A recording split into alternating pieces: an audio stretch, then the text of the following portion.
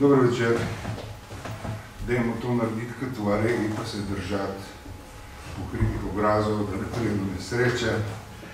Moje ime je Ervin Hladnik Milharčič, sem novinar časopisa Dnevnik. Z mano sta danes Egon Pek, pelikan zgodovinar obdobja, ki smo pravkar videli na filmu. In Marko Vidovec, ki je eden od pobudnikov in financerjev filma in tudi dal inicijativo, da se danes tukaj srečamo. A, moral biti z nami tudi Milan Pahor, ki, je bil, ki ste ga videli na filmu in je bil še prav posebej zanimiv sogovornik, zato ker se hotel jaz danes, ker smo v Slovenski matici praznovati dve novi knjigi. Eno je Milan Pahor, tajna organizacija Borba, ki jo toplo priporočam, ker je prelep pregled uh, in obdobja z obsežnimi biografijami vseh štirih junakov Bezovice in razlago tega, kaj to obdobje pravzaprav pomeni za našo zdajšnjo zgodovino druga, je angleška izdaja pri Langu v Oxfordu, uh, Egona Pelikana, knjiga Tone kralj in prostor meje. V angleščini se piče preprosto Hitler in Mussolini v crkvah in je izjemno delo historiografije, ki uh, na, na znanstven način razvije to, kar smo slišali, da je uh, ta bazoviški uh, dogodek, proces, ki je do njega pripeljal, začetek evropskega antifašizma. Ne? Danes praznujemo 15. september, na primorskem temu rečemo dan preključitve, pika, in leta 47 so primorsko priključili Jugoslaviji, hkrati pa spraznujemo, oziroma pač se spominjamo 6. septembra leta 1930, 17 let prej, ko se je na Primorskem začelo nekaj, čemor danes nekakšno preveliko lahkoto se mi zdi, rečemo antifašizem, tako kot z enako lahkoto rečemo fašizem. Ne, in zdaj, najprej bi vprašal Egona Pelikana, če rečemo antifašizem, ne, tukaj ga imamo zloženega eno precej osko geografsko področje in na, na, na kratek čas, ampak v resnici govorimo o nečem velikem. Ne. In hkrati je tudi na prostoru bolj kompleksno kot se ti. Eden tukaj reče, živela Jugoslavija, to se ni dogajalo v današnjem Trstu, ne, ampak med Jugoslavijo, Italijo, med dvema državama, ki sta poznali tako fašizem kot antifašizem. Kaj je kontekst tega dogajanja? Kaj lahko o tem rečemo? Ja, prvo, je pozdrav se. Uh, prvo, da je po letu 18 in potem še posebno po letu 20, ne, ko prišlo do te izgube Koroške in izgube Primorske, postal ta, v bistvu se je ta nation building slovenski, ki je trajal tam od leta 1848 do konca prve vojne, končal v eni katastrofi. Vse tako je izgledalo. Ne. To je bila prva stvar. Druga stvar bila, da je prišlo več kot 300 tisoč slovencev oziroma pol milijona slovencev in hrvatov pod Italijo in da se tam uh, zdaj potem sreča Italija s to ogromno manjšino, s manjšinami nima izkušnjo, skušen, nekaj ima s kolonijami izkušen, se pravi neke vrste kolonialni pristop in diskurs. In uh, potem je treba najbolj omeniti tukaj eno gospodarsko situacijo uh, katastrofalno v julijski krajini in uh, ukrepe fašizma, ki se začnejo že sicer pred nastopom fašizma, pred letom 22, že tako je to zasedli, imamo smrtne žrtve, decimiranja, na Soški, na Soškem, posočen in naprej. Uh, skratka, vse to skupaj je tukaj uh, sprožilo potem nekaj, ne, kar je rezultira v teh dogodkih. V prvih desetih letih uh, je namreč, kot smo slišali tudi v filmu, bilo ukinjeno vse, kar se je dalo ukiniti slovenskega. In uh, govorimo o enem fenomenu, ki mu rečemo tudi fašizmo di confine, Marija Vinči, italijanska zgodovinarka, tukaj govori o tem, kako se v tem prostoru primorske, v tem slovenskem prostoru etničnem, podvojijo funkcije fašizma, ki so sicer že v Italiji usmirjene proti po letu 22 političnim nasprotnikom, še prej pač usmirjene proti političnim nasprotnikom, anarhistom, socialistom, komunistom, krščan, torej popularom, ljudskih strank in drugim. Ne.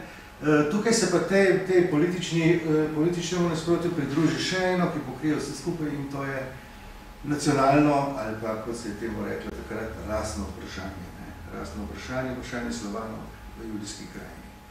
Zdaj, kakšne razmere so bile v judijski krajini, nam dovolj pove poročil, številka iz, iz poročila mešane kulturno-zgodovinske slovensko-italijanske komisije, italijansko-slovenske komisije, v katerem lahko preberemo, da se je iz judijske krajine med vojnama izselilo 104 tisoč, več kot 100 tisoč prebivalcev, Slovencev in Hrvatov. Ne? Zdaj si lahko predstavljamo razlogov za ta položaj gospodarski, za vse ostalo je več.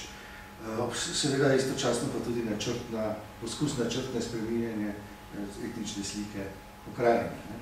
100 tisoč je ena številka, ki jo seveda lahko tukaj vidimo v kontekstu tega večnega razpravljanja o 200 tisoč italijanih iz Dalmacije, 100 tisoč samo iz judijske krajine. Vsaka osoba je preveč ki se je takrat zgodila na eni ali drugi strani. Ne. Vendar, če nekoliko autoriziram, vidimo tukaj, da je e, pač ena ogromna številka, ki kaže na to, kakšna situacija je zavladala v teh priključenih ozemljih po tej katastrofi, ki se je Slovencem zgodila po koncu prve svetovne vojne. E, to bi mogoče Seveda, potem v 30 letih ne, se pa ta, ta režim popolnoma usmeri to, to protislovenstvo ne, in isto na drugi strani rodi spet nov odpor. En odpor, ki mi včasih spomne na tisto izjavo, vsi jo poznate, ko Kocbek zagleda te partizane, pa reče uh, slovenec, puško v roki in tako naprej, ne govori o preobrazbi slovenskega nacionalnega značaja in tako naprej. Te stvari so se tukaj na Primorskem zgodile že Eh, mnogo prej, jaz sem tudi za ne take družine in uh, se, se je potem v, tem, v teh zgodbah in zgodbicah ne nekno nekaj vrtelo in živelo okoli tega, kar se je dogajalo tukaj. Toliko mi je. Prav, Marko, da bi se mi rad vprašal uh, za, za, za okvir enega vprašanja, ki ga je danes težko razumeti. Namreč, uh, Vidovec, Marušič, eh, Miloš in, in, in, in Vidovec so, bili, so bile prve žrtve v boju proti fašizmu. Ne? Oziroma, to bil še Vladimir Gorkan prej na reki, ne, ampak se tako, za nas so on, oni, oni štirje tukaj prvi. Če, če oni ne bi se spustili v boj proti fašizmu, bolj mi danes ne bi praznovali 15. septembra, tako sem jaz nekako razumel zgodovino. Ne? Ampak to je To ni bil kulturni boj, ne? to ni bil boj samo za ohranitev jezika, za kulturni, to je to bil oborožen boj proti fašizmu. Kako vi razumete, da pridejo štirje mladi fantje z krasa od tega, da nasprotujejo italijanizaciji svojega prostora, ne, ki je vedno bolj agresivna, in uh, od recimo kulturnega upiranja s pevskimi zbori, srečani, in vsem, kar, kar, kar je ta svet imel, do tega, da grejo in nastavijo bombo na časopis. Kakšna dinamika, brate, zadnji, kaj jih je pripeljalo do tega? Ne? Ker lahko je reči, to se pač zgodi, ampak ja, v resnici so, so to zelo težke individualne odločitve, ki zahtevajo tudi eno organizirano politično delovanje od zadnji. Ne? To ni preprosta reči, gremo vršt bombo. Ne? Kako vi to vidite, razumete? Kaj vi veste več od nas? Veste veliko več. Zdrav tudi v mojem imenu. Tukaj bi moral jaz stopiti nujno s pojasnilom dva stavka nazaj, kaj ti Ferdo izhaja iz mešano slovensko-italijanske družine. Mama je bila italijanka Antonija Vianello, iz ugledne beneške družine, bili so menda osebni prijatelji z beneškim dožem. Ko je, prišli, ko je oče oziroma njihovo družinsko trgovsko podjetje delegiralo za poslovodkinjo njihove nove trgovine v Trstu, je pač spoznala mojega prav očeta, Ivana Bidovca. In za posledično, ker se je zaljubila v ščava, v slava in se te ljubezni ni hotela odreči, si je družina odrekla, oče je razdedinil, celotna družina si je odrekla in uh, kljub temu se je z Ivanom, mojim pravčetom, poročila, rodila deset otrok in kot čistokrvna italijanka naučila slovenskega jezika, res da tržaškega dialekta. In prav vseh deset otrok je upisala v slovensko šolo pri Svetem Jakobu v Trstu in ne v italijansko. To je ta pojasnevalni del tega, da zdaj odgovorim na vaše zastavljeno vprašanje. Od te šentjernejske luči, katero smo videli v filmu Napad na kar 27 ustanov 13. julija 1920, moramo zopet stopiti še en korak nazaj. Škvadristične, zmagovite vojaške formacije so napadle znak slovenstva že na božični večer 1918. leta, ko so napadli dvorec zadnjega slovenskega škofa, držaško-koprskega škofa Andreja Karlina, ki je bil sicer porodu iz Stare Loke, pri Škofi Loki, Lučan, mu uh, uničili knjižnico, zmetali knjige na ulico in jih požgali. Potem se je pa samo stopnjevalo do prihoda Mussolinijeve fašistične stranke na oblast in njega oktobra 22 postavljenega za predsednika vlade, kar poznamo iz zgodovine. Vse to se je potem radikalno slabšalo v škodo Slovencev in Hrvatov, ki so jih imeli za tuje rodne in tako kot je bilo povedano strani dr. Pelikana, so jih na pol kolonializirano imeli za neke neizobražene, oprostite, bušmani za njihove neke grmičkarje, manj vredna rasa, že iz tega, ker so se italijani tistikrat in žal tudi premnogi še danes sklicevali na 2000-letno uh, kulturo, rimsko civilizacijo in vse, kar iz tega pač pozitivnega za svet in kulturo Evrope in sveta rodilo od Michelangela naprej in nazaj, da ne gremo v podrobnosti. Gentilijeva reforma šolska je udarila tam, kjer je vsaka nacija, vsak narod najbolj ranljiv. Pri mladih se začne ljubezen do maternega jezika, vzgojo v maternem jeziku in Gentilijeva šolska reforma 23. leta je začela korenite spremembe, vse se je nadaljevalo, omejevalo, prepovedovalo, zaključilo nekje 27. leta z vsem, kar je bilo v slovenskem tiska, petja, govorjenja v, na uradnih ustanovah, sodišče, cerkve, ulice. In iz tega se je potem, ko se že leta 24 mladinske društva spoznala, da se to radikalno v škodo Slovencev in Hrvatov v Furljeni Julijski krajini situacija slabša, so prišli v ilegalo, ki je rodilo prvo obliko tajne organizacije Borgo že 24. leta, ki je potem zamrla. Prišlo je septembra 27 do tega sestanka omenjeno v filmu na Nanusu, strani Goričanov in Tržačanov ter Istre in Kraškega obrobja Trsta in stopnjevalo v uh, povezavo z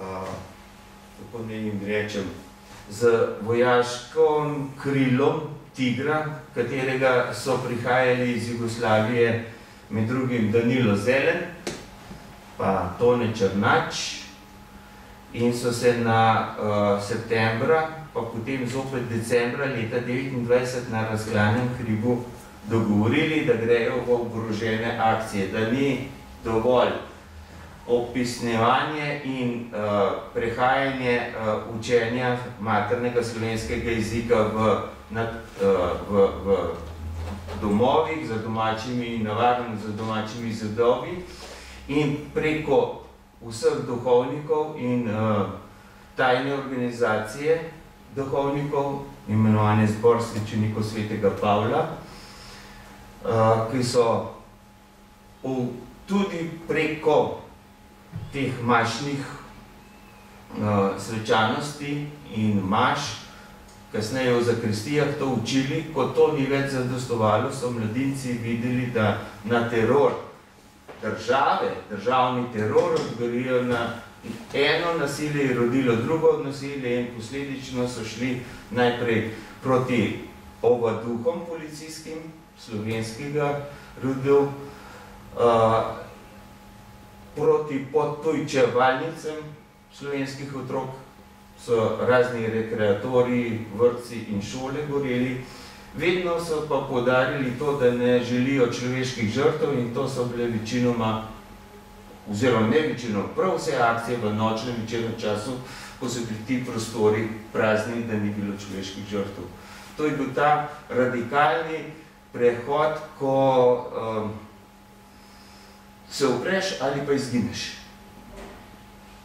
Kulturni etnogenocid, kakorkoli želimo to razumeti in pojmati z današnjo sodobno terminologijo. No, takrat so temu preprosto rekli italijanizacija. Tako, ja. Si niso komplicirali, Niso. s pre dolgim definicijami. Ne? Ampak, uh, uh, Pelikan, uh, to se, to se, to se, z Ljubljane je to težko videti, ne? ampak to se je dogajalo v Italiji. Ne? Ko bi to je, to se je, to je dogajalo v zgodovini Italije, ne, ne, ne, ne, ne v zgodovini kakšne druge države. In uh, a, je, a je bil antifašizem, da ne vem, da ni bil, to da vprašujem retorično, iz, izključno vezan na, na, na, na slovensko reakcijo na, na, na režim, ali je bil del kakšnega konteksta, ki je spadal v takratno Italijo?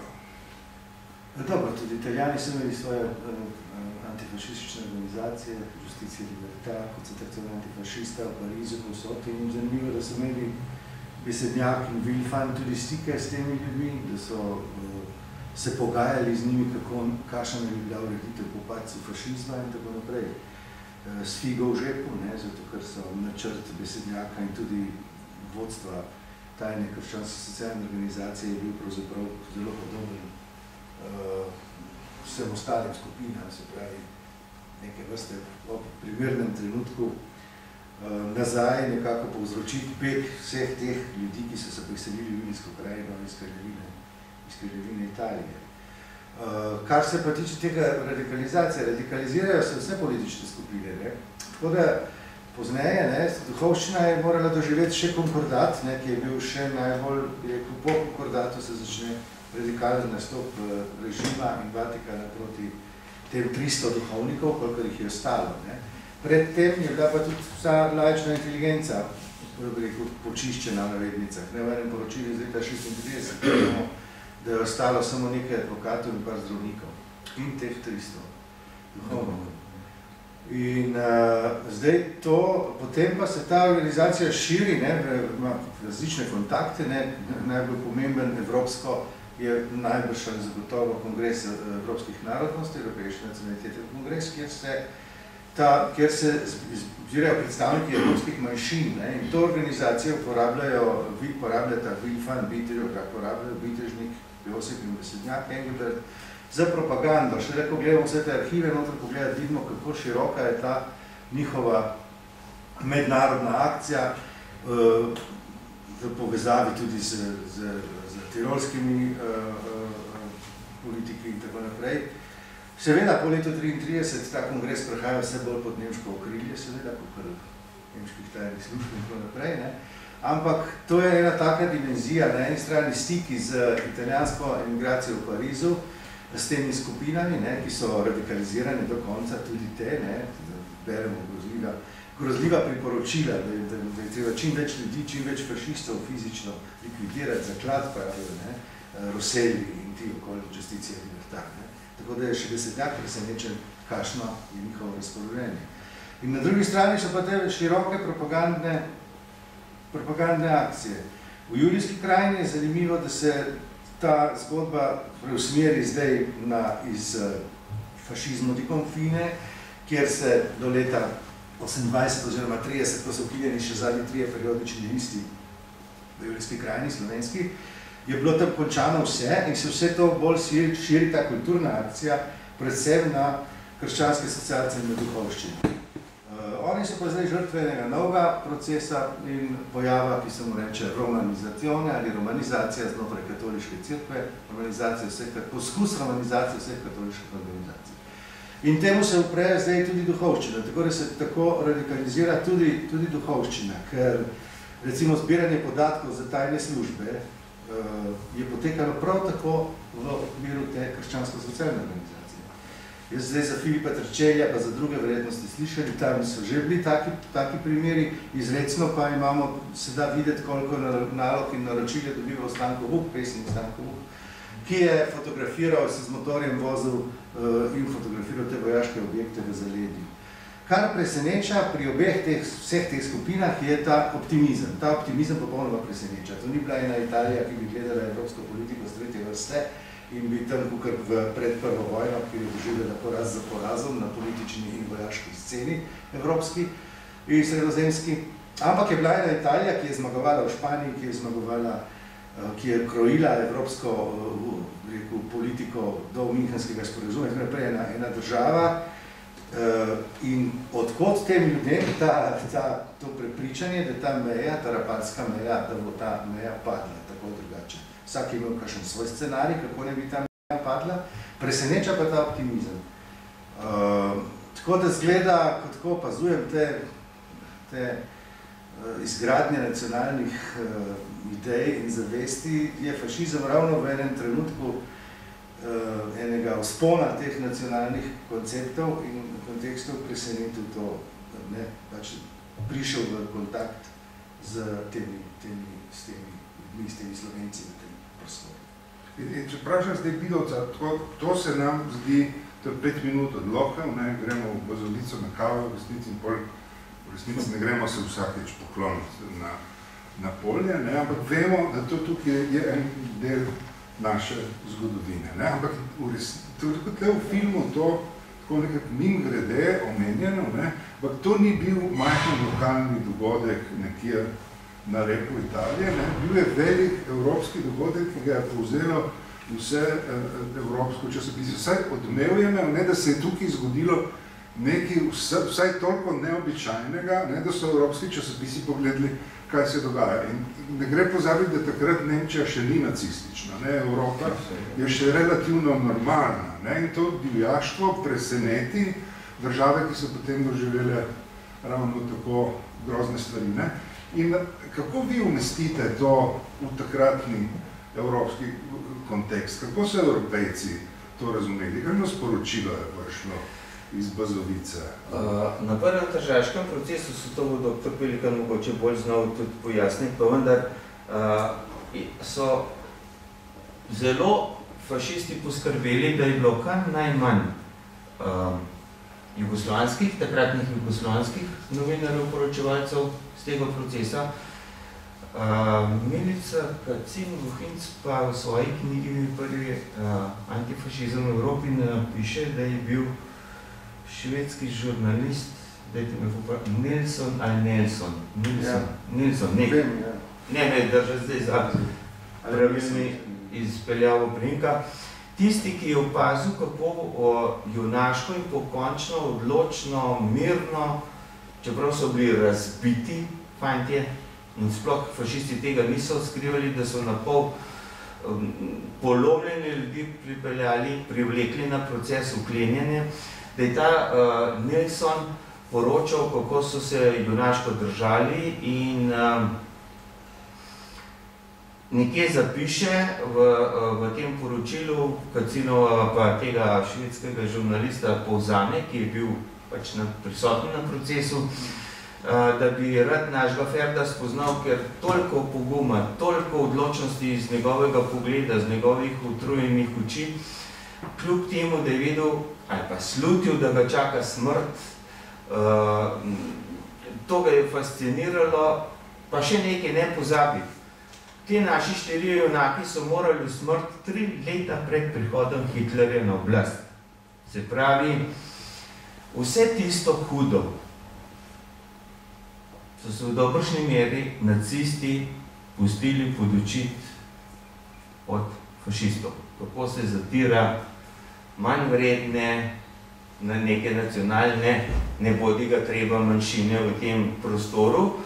In ravno zaradi teh poročevalcev um, iz tujine so se potem tudi po Evropi razpisali demokratična Evropa, Lide Pravo, Manchester Guardian, uh, potem Arbeiter Zeitung in tako se pravi uh, nekaj nepojmljivega, da lahko um, v tako majhnem prostoru se s tako brutalnostjo manjšina zatira, ker ne nazadnje, če je bilo slovensko ali pa slovanskega življa, če še Hrvate, Hrvaško isto zdravo prištejemo, pa reko, je bilo tam nekje in dol, okolica Zadra, je bilo nekje mogoče 300 tisoč vseh skupaj 400 tisoč proti takratnim naj 35 milijonom italijanov in koliko. In kako ne tak, taka drobna manjšina velikosti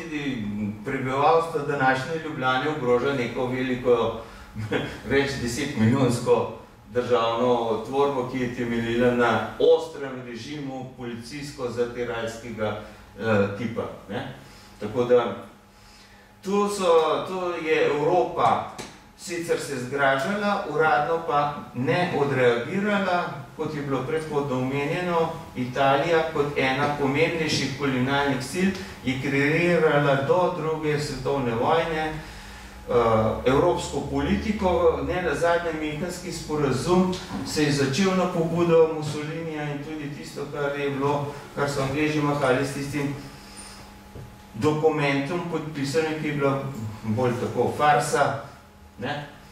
Mm, leta 1938 so pač pokleknili še enkrat pred agresivnim hitlerjevsko, se pravi nacistično-fasističnim predrugačenjem Evrope. Ne? Ja, potem se je pa 39. pa druga svetovna vojna pač rodila od vse te politike, katere so se demokratične eh, evropske države umikale in pogojevali in mislile, da če odstopajo s koncesijo še to, ok, pa še še sodete, pa ok, ste si zanjšli so Avstrijo priključili v redu, ne? Da, da se bojo to ustavili, v resnici so pa let dobili brezobzirni zalet, ne pozabiti, Italija je zasedla potem Libijo, pa še predhodno Abisinijo, uporabljali so kemične strupe, brutalno, po deseterjeno brutalno so se življali nad, nad Afričani, ne, nad, v, dal, v, na jugu.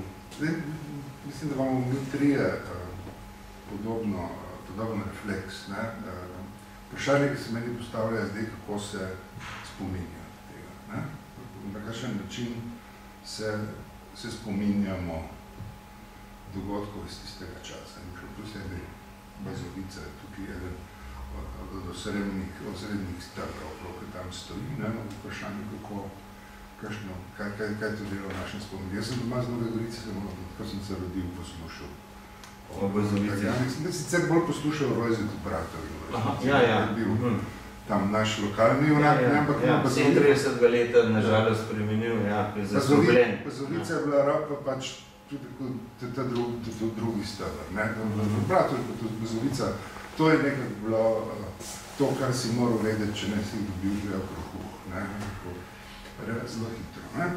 In je pa seveda vprašanje, kako se človek razen skozi zvodbe, ki so mi pripovedovali na novce in nove, če jih je imel, ne, kako se lahko še spomni. Zdaj, najbolj bom zgodovinarja, ki, ki se spominja po, po poklicu, ne, vprašal, kako, kakšen pristop se, se, se Pelikanu zdi do tega obdobja ustreza.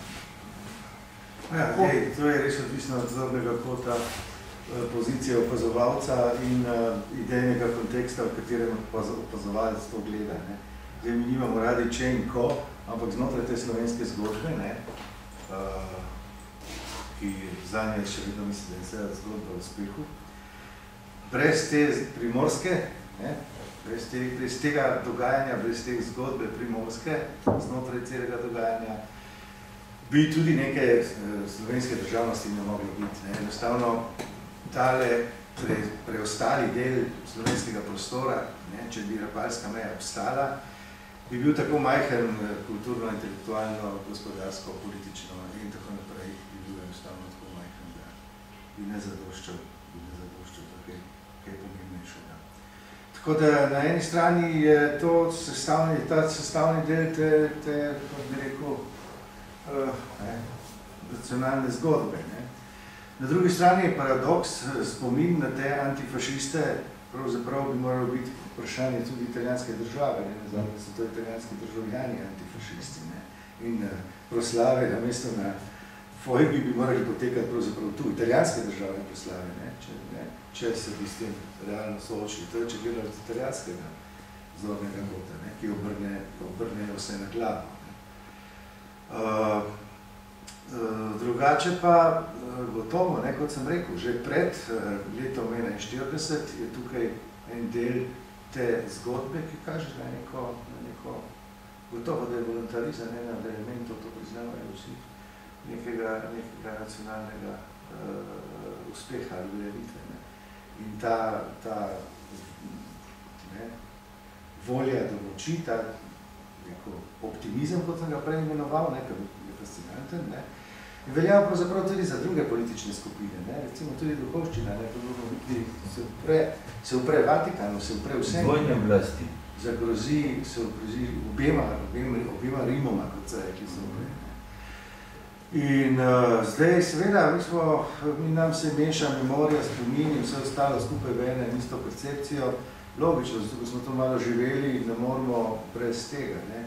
Zdaj, priključitev, priključitev Primorske mirovna konferenca 15. september, ne. Primorci imamo vsi nekaj svoje štose. Ti si govoril, bratu, že jaz se spomnim Nono, tako je odpiral sardine, Denavari si izola, ne. in je bil to neko bred, ne uh, nedelja pred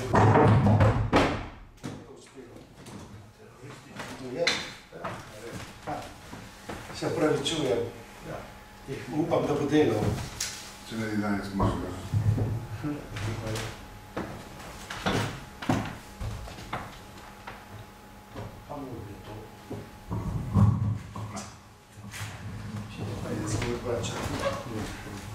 Tukaj je. Ja, ti najdeš. Ne, ne, ne, tukaj. Glejte ga. Ja, posebej. Zdaj tega. Kje smo ostali? Ponovno tu. Vrnovno tu. Ko je konzervo predavari z... Ja, to so bile te, te večne zgodbe. Ervinu sem ravno zadnjič, ko je prišel mimo, kazal njegova, njegovega lugarja. Uh, jaz, ko sem bil majhen, sem imel irhaste hlače, črn, s planikami, ne, ker njihovo slovenstvo pravzaprav ni bilo primorsko. To je bilo, on, on je slikal take kvadre, če si videl isti kvadr, Bled, Bokin, Kredarica, Triglav. Z Rafaelom Nemcem, s, s tem slikarjem akademskim sta slikala in seveda gojila kult slovenstva, ki ne bi bilo nasprotno prav temu, tem, tem, tem italijanom. Ne. Se pravi, kot rečeno, irkaste hlače in planike, ne, kar je bilo seveda smešno videti, ne, pravzaprav na slikah uh, kot otrok. In skratka, teh zgodb je še potem cel kup. Ne. Se pravi, da smo nekako tudi, tudi osebno v te reči upleteni. Ne. Drugače pa, kakor pravim, ne, tu je neka komponenta, ki ima zelo jasen, zelo jasen cilj, ki je že močno zgrajena, ima eno zelo močno identiteto, ima eno voljo do moči in en optimizem, uh, ker je šokantno razmišljati ne, o meji na Soči. To je šokiralo tudi v Vatikanu, ne, Pizarda in ostale, kako je mogoče, da tam nekaj, nekaj 300 duhovnikov sanja o meji na Soči, ne, kako so uspeli iz dokumentov razbrati, kakšna bi bila po mnenju zbora svečenikov svetega Pavla pravična meja na zahodu. Uh, ne vem, če sem odgovoril na Si, si. A, tle, če si še jaz dovolim eno osebno, a, mislim, sformulirati vprašanje iz osebne dileme. Ne? A, jaz toliko časa sem živel na Darabci in oni vsakemu, ki umre, umre za pravično stvar, reče mučenik, še bi. Ne? In zdaj, ko govorimo o štirih iz Bazovice, se dosti običajno govori o štirih žrtvah. Ne? In se zdaj je udomačil govor, da tako vse so bile žrtve na tej strani, so bile žrtve na drugi strani. Ne? Zdaj, moja perspektiva je to, da to niso žrtve. Ne? Jaz, fizično so že bili tam pač ustreljeni, ja seveda. Ne? Ampak v resnici je pa ideja zmagala, ne? vsaj v, v, v, v veliki večini. No? Pač bili sta izgubljeni dve veliki mesti, ampak vse drugo je ideja premaknitve meje. Ne? Je zmagala. To skratka po moji politični geografiji so oni junaki. Ne? In preko, se mi zdi zgrešeno tudi stališča rehabilitacije. Ne? Rehabilitirati žrtvo je enostavno. To, to ni velik problem. Ne? A, a, rehabilitirati junaka, ki je preko, bil v oboroženem boju na drugi strani, predstavlja problem. Ne? Zdaj, kako, a, zakaj so se oni štirje znašli te, te, vse pravno rečeno zunije amnestije, ne? kljub temu, da je županni Pjaca zdaj v Bazovici bil edini, ki je doživel spontano aplavz, ker rekel, no, nerano teroristi, eurofili, kogo vsi drugi, skratka niso bili teroristi, bili so. A, a, kar je presenetljivo, da to, to ti Pjaca reče, ne? ampak je, je, je, je indikativno. Ampak to pravno še zmeraj pomeni nek zaplet. Ne? Prav zaradi, jaz bi rekel, da zato, ker ideja zmagala. Se motim ali razmišljam prav?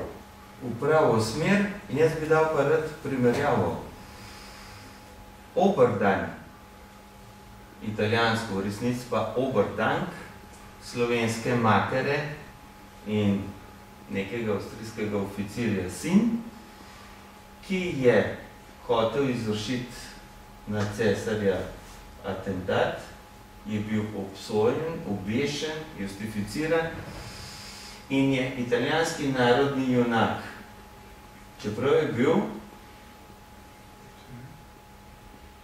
tehnično, pravno gledano, skrajnež terorist, enako kot je še danes uradno naziv za te naše štiri junake. Vsi moji dopisi, vsi moji pogovori, vsi moji obiski najvišjih političnih predstavnikov Slovenije, vedno govorim o junakih in nikoli o žrtvah. Ker jim enostavno, zakaj junaki? Dvojni junaki so za mene. Kaj ti? Upreti se terorju, terorizmu, državnemu terorizmu v mirnodobnem času, leta 30, nekjer po Evropi in nekjer po svetu ni bilo obrožene konfliktov neke vojne. Oni so pa morali umreti v branjenju osnovnih elementarnih človekovih pravic, govoriti v maternem jeziku, pisati, pet, moliti, karkoli v svojem maternem jeziku. Ne?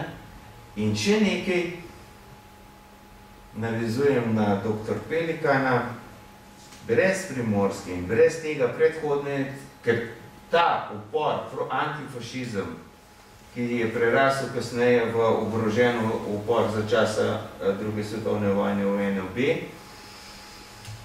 je del nujnega podstata, drugi stebr pa imam jaz vse borce zbrane okoli generala Rudolfa Majstra v borbi za severno mejo. Kajti, če bi še tisti severni del bil odrezan, ne bi imeli danes Štajerske in Prekmurja in Primorske in predstavljajte si deželo Kransko od Metlike do Rateč. En takš razširjeni obsavski pas. Še Rateč, bi italijani No, no dobro, no, lej, ja. Tako da, uh, vedno in posod govorim o junakih, zelo žalosti pa me, škoda, ker vas je samo toliko tu, ne posluh slovenske države in še prej Socialistične republike Slovenije do tega, da bi odločno, s tiho diplomacijo in glasno med obiski na bilateralni ravni izpostavili to, da bi se jih sodno rehabilitiralo, že v redu in prav. Predsednik Matarela je 13. julija letos upravil neko tiho politično rehabilitacijo, vendar oni so bili obsojeni, če tudi strani zelo, zelo nelegitimnega, če tudi legalnega, posebnega sodišča za zaščito države, ker so bili sami fašistični generalni sodniki s Gvido Pristinijem na čelu. Uh, in uh, če, če ne zmore in noče najvišja funkcija, neposredno izvoljeni najvišji predstavnik te države, kaj več od tega, da nas je zavrnil svojce, sorodnike na sprejem, da bi mu skušali razložiti, zakaj bi bilo pa po 90 letih že skrajni čas, da ne prosijo, da zahtevajo od sosede, prijateljske nam sosede Italije, sodno, posthumno sodno rehabilitacijo. Odgovor imate, ja, Di Piazza je to izrekel. Zakaj je Di Piazza sploh prvič prišel na Brzovsko gmajno na to osrednjo komemoracijo letos? Če ne bi 13. julija njegov predsednik stal tam, Matarela, Sergio, verjemite mi, Di Piazza niti zdaleč ne bi bilo blizu. In sam še nekaj o neiskrenih italijanih eno govorijo, drugo delajo in še mi, še vedno smo naivčine, naša diplomacija in politika, vsi skupaj v enem paketu. 20 let nočejo italijani objaviti, sprejeti v parlamentu in objaviti, publicirati in seznaniti svoje javnosti, predvsem mladino v srednjih šolah, sporočilom mešane. In jaz tu sem zoprno dosleden slovensko-italijanske, ne italijansko-slovensko, slovensko-italijanske kulturno-zgodovinske komisije, kajti Julija je bilo že 20 let od objave tega poročila na tiskovni konferenci v Kopru. Sem točen, dr. Velikan. Ja, seveda, to bi relativiziralo, marsikaj, ne? Zato tisto poročilo se bojim, da ne bo nikoli potrjeno. Ja, no.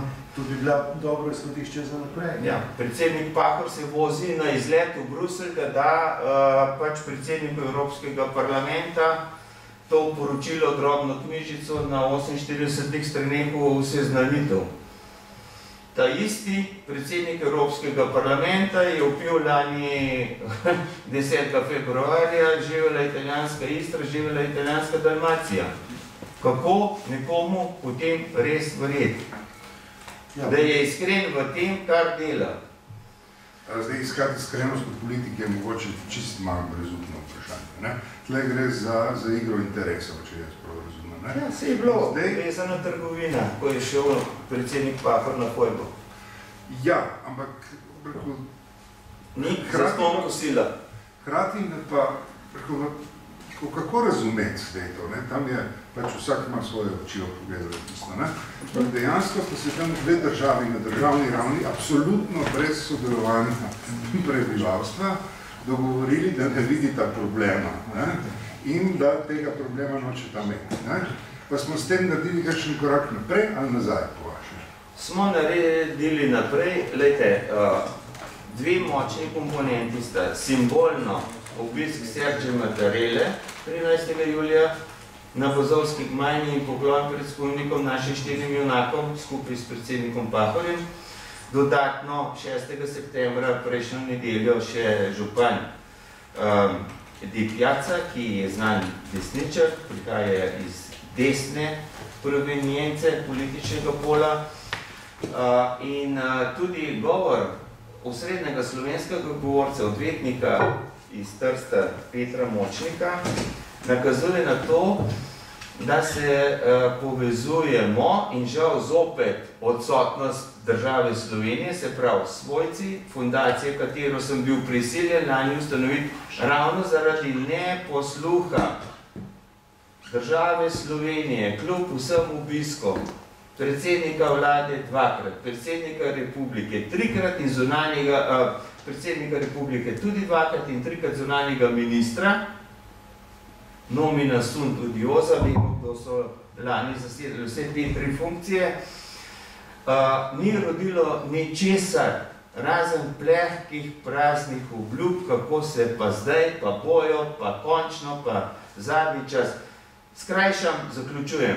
Slovenski odvetniki iz Trsta skupaj z svojci bomo šli mimo države, ker očitno država naša no pač uh, netrdne vretenčarje uh, v postopek, da bomo preko uh, od vojaškega tožilstva v, Rimu skušali doseči, da se bi, tako kot se je zgodilo pravno zdaj govorimo, in to so besede odvetnikov Berdona in Močnika, stare 8-9 dni, da bi se iz vojaškega tožilstva v Rimu premaknila zadeva na kasacijsko sodišče, s tem pa uh, padel pod civilno sfero in bi se skušalo tam doseči sodno poskumno rehabilitacijo, ukolikor to ne bi šlo, sledi pritožba na italijansko ustavno sodišče in se sam, to pa ni moj optimizem, ampak trezni realizem, se bojim, da se bomo srečali z državo Italijo tudi na Evropskem sodišču za človekove pravice v Štrasburu. Minilo bo pa 15 let, kaj ti v Italiji 10 let ne pomeni tako rekoč nič. Ob stoletnici mogoče. Ali v 110. Ja. Imam pa še za pelikane vprašanje, da, da ne končamo izključno z aktualno političnimi. Ne? In te, te so, kako rekel, po defaultu uh, zbudijo nesrečo v človeku. Ne? Uh, namreč, uh, vrnite se na začetek. Ne? Temu, da uh, ne samo interpretacija, ampak tudi opis, detaljen ne? Uh, in strasten in metodološko brezhibno hkrati, ne? postaja del svetovne zgodovine. Ne? Plank je založil, kako objavlja zgodovino sveta. Ne? To rečemo, brez zadržkov. In bi rad uh, Pelikana vprašal, uh, namreč zgodba Toneta Kralja je, uh, je zgodba rezistence, Ja. ki je enkratna v zgodovini tega kontinenta. Je lahko na kratko obnovite, ne, da, pač, da bo jasno poslušalstvo, ki je moje navdušenje. Ja, da se reči, da je ta antifašizem, antifašizem z najbolj možno subtilno gesto, ne? se pravi, na, ta, na to brutalnost režima in dogodkov v Julijski krajini, potem od Kristernandu, odgovarja Tone Kralj za poslikavo crkva. Morali bi imeti ta zemljevid, to je najlepša stvar, kjer bi videli, da so crkve od Višari do Trsta. In pred dvema letoma smo imeli v Kopru, tremi leti zdaj že smo imeli v Kopru konferenco, na katero smo zbobnali na kup vse od Humboldtove univerze, Chicaga, Washingtona, Rima, Bologna, Firenc, skratka, uh, polna zasedba. In to so poznavalci tako imenovane govorice v prostore, kar ti gre za ta special turn, za posebno zgodbo, ki se v historiografiji imenuje iskanje govorice prostora, ideološke in, dru in druge. Ne? In uh, vsi so si bili enotni, da kaj takega na svetu ni. Če bi kje bilo, bi tisti, ki so bili takrat tam, uh, zagotovo bi kdo za kaj takega vedel. Se pravi, da je razstavljen slovenski limes, neviden, ne, en message in the bottle, en, uh, kaj bi še temu rekli, ena fantomska meja je nastala, ki jo je zrisal v tem prostoru tam, kjer naj bi bile, takrat so tako razmišljali, uh, te, te slovenske etnične meje. Tako da, Da, da, da, da, da, da končamo. Ne? Namreč, kar je v tej knjigi noga in ne najdemo v to nekaj meje prostora, ne? je eno odkritje v Muzeju novejše zgodovine v Ljubljani, ki govori dobesedno o tem, kako se zgodovino pozabi in uh, premala, lahko obnoviti. A mislim na to sliko, da je državljanska Ja, vojna. ja, Tone Kralj je leta 42 naslikal, vem, da je takrat naslikal dogajanje v Ljubljanski pokrajini, kjer se spopadajo v eni areni rimski, veliko platno, vsi poznate streljanje talcev, nekaj malo aludirana na gojo, tisto znamo sliko streljanje talcev. No, in mi smo šli tam slikati to. In smo tisto sliko sneli dol, da bi, ker je olje bleščalo, sonce je bilo. 70 let je visela, visela v muzeju. Smo obrnili in na drugi strani je ena alegorija državljanske vojne na slovenskem, kot si jo lahko, kot si jo lahko ne bi mogel niti zamisliti. To se je lahko samo en slikar in to ne kraj. Narisal je areno, noter te slovence različnih političnih taborov, domobrance, proletarce in četnike, se pravi na frontu četnike, ki se med sabo korjejo. In uh, za arene opazujejo to italijanski uh, pač velikaši, člani stranke, Mussolini osebno, in si to stvar ogledujejo, vidite žico okoli mesta. Skratka, slika, ki jo je vredno si ogledati. No, zdaj se ukvarjajo z njo, so začeli tudi iz moderne galerije, so dobili to, so me klicali, če bi to interpretacijo, kaj je s to interpretacijo, če bi to interpretacijo poslal. Se jo splača uh, pogledati, ker je res nekaj lepega. Popolnoma se upada s tistim nagovorom, uh, kako je že bil Ružero, tale vodja, Kačatori dele Alpi, ne, ki je rekel, naša, vaša milicija, monetarja antifašista nam zelo pomaga, ampak vi si ustvarjate sovraštvo, ki ga 50 let ne boste presegli. No. Zdaj je že dosti več kot 50 in italijanski uh, poveljnik je imel še kako. Nažalost, prav. Ne, če bomo počali tukaj zgodovino, se da premalati in popreku na, na drugo stran, da ni se No, državno naročilo, ne, ampak to, te vse nanose barve se da odstraniti in potem pokazati. Žal, A smem samo en stavek še dodati? Uh, žalostno je to, da se v šolskem učnem programu, v kurikulumu, tako malo pojavlja to obdobje prvega antifašizma v Evropi, da sem jaz enostavno, spontano ponujam srednjim šolam, gimnazijam širom Slovenije um, ogled tega filma in pogovor z dijakinjami, z dijaki, jasno ob asistenci njihovih profesorjev zgodovine.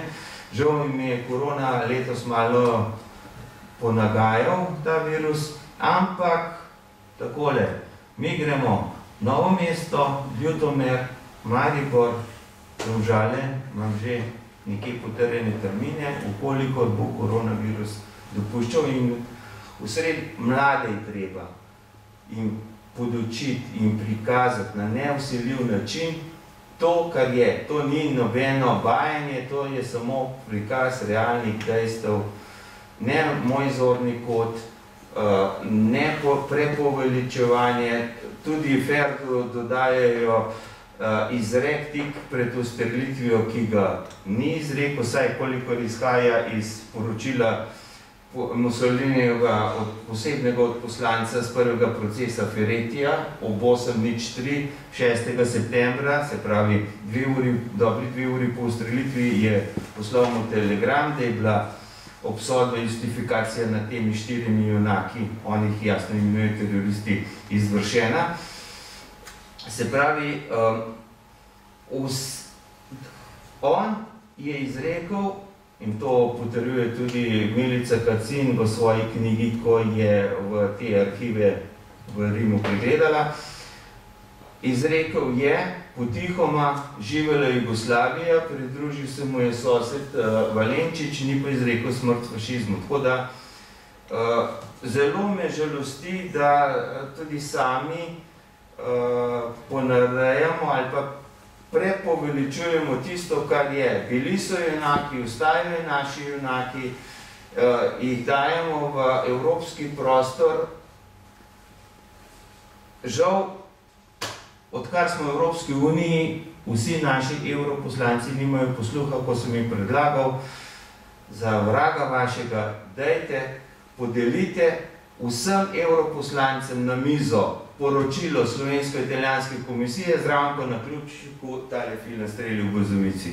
Če italijani lahko nemoteno po teh dvoranah Evropskega parlamenta z lagano verzijo zgodovine srce v breznu vrtijo, zakaj za vraga Slovenija antifašistična članica zmagovite koalicije z druge svetovne vojne, tega ne ponudi in ne pokaže, pa dajmo reči svojo verzijo teh težkih medsebojnih obdobij iz preteklosti.